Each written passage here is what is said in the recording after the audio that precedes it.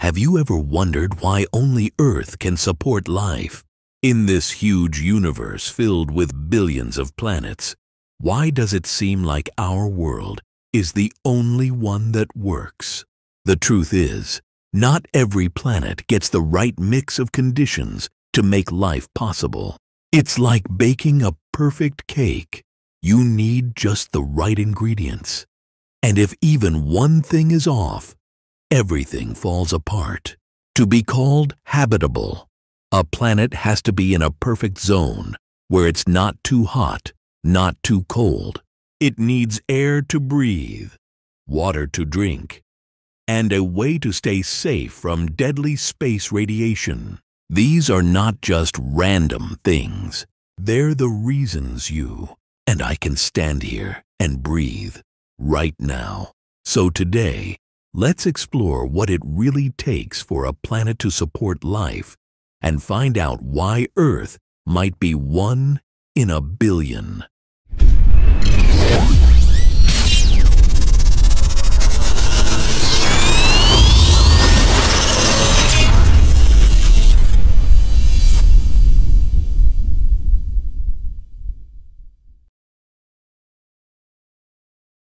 Every star has a sweet spot around it, a perfect distance where a planet can be warm enough for liquid water, but not so close that everything boils away. Scientists call it the Goldilocks zone because, just like in the fairy tale, it's not too hot and not too cold. It's just right. Our Earth sits in that perfect place around the sun. That's why oceans can stay liquid, rain can fall, and life can grow. Move a little closer, and Earth would turn into a dry, burning desert like Venus. Move a little farther, and it would freeze into an icy world like Mars. The Goldilocks zone is the first big rule for life. If a planet is too hot, Water can't stay on its surface. If it's too cold, water turns to ice and life can't begin. But even being in the right spot doesn't guarantee life. It's just the start. A planet could be sitting perfectly in its zone and still be completely lifeless. Why? Because it also needs an atmosphere, something to protect it and keep that perfect temperature stable. So the Goldilocks zone is like a stage. It sets the right lighting, but the rest of the show still needs the actors, the air, the water, and everything else that makes life possible. Imagine standing on a planet with no air. You wouldn't last even one second. Because the atmosphere is more than just something we breathe. It's a shield, a blanket, and a life support system all at once. Earth's atmosphere protects us from deadly radiation from the sun. It burns up meteors before they hit the ground, and it keeps our planet warm enough for water and life to exist. Without it, our days would be boiling hot, and our nights would freeze like deep space. That's what happened to Mars. Long ago, Mars had rivers and lakes, but when its atmosphere faded away, the water disappeared, and so did the chance for life to survive. The right atmosphere also helps balance gases like oxygen, carbon dioxide, and nitrogen. They work together like an invisible team, making sure our planet doesn't overheat or freeze. So when scientists look for other habitable planets, they don't just ask, is it in the right zone? They also ask, does it have an atmosphere to protect and nurture life? Because even if a planet sits in the perfect spot, without that thin layer of gas, it's nothing more than a silent, empty rock floating in space. Water is the heart of life. Every living thing we know needs it.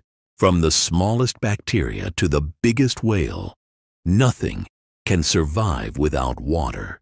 Here on Earth, water shapes everything. It flows through our rivers, fills our oceans, and cycles through the clouds in the sky. It helps plants grow, keeps animals alive, and even cools our planet's temperature. When scientists search for other worlds, the first question they ask is simple. Does it have water? Because where there's water, there might be life. But it's not just about having water. It's about having the right kind. Liquid water, not ice that's locked away forever, and not vapor that disappears into space. That's why planets like Mars and Europa, moon of Jupiter, are so exciting. They may have hidden oceans beneath their frozen surfaces, and that means there could be something living down there, waiting to be found. So if the Goldilocks zone is the stage and the atmosphere is the roof, then water is the main actor.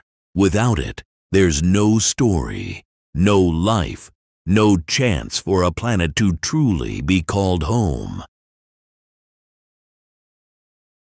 A planet's surface and core are like its bones and heart. They decide if the world can stand strong and stay alive for billions of years. Deep beneath our feet, Earth has a metal core made mostly of iron and nickel. That spinning metal creates something amazing. A magnetic field. This invisible shield protects us from deadly solar radiation. It keeps the atmosphere from being blown away by the sun's powerful winds. Without it, our air would slowly fade into space, just like what happened to Mars. The planet's composition also matters.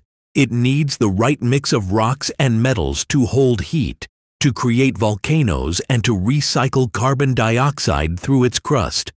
That's how Earth stays warm enough for life, even when space is freezing cold. A planet made only of gas. Like Jupiter can't be home for humans. There's no solid ground, no place to stand. And the pressure would crush anything. So when scientists search the stars, they look for planets with a rocky surface, a steady rotation, and a strong magnetic field, because those are the signs of a world that can protect itself. In the end, a planet isn't just a ball of dirt and rock.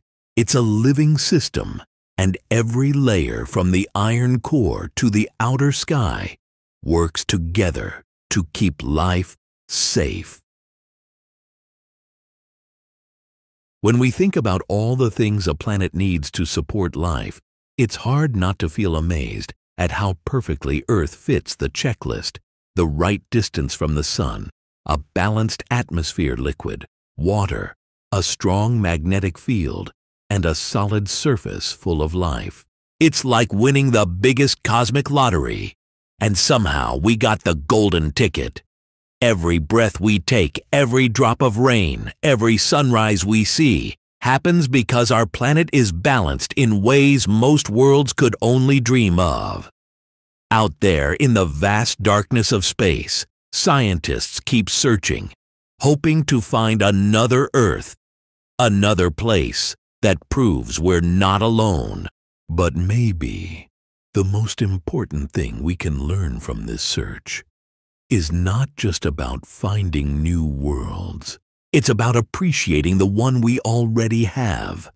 Because if life is truly rare, then protecting Earth isn't just important, it's our greatest responsibility. So before we look to the stars, let's make sure the planet we call home stays alive for generations to come.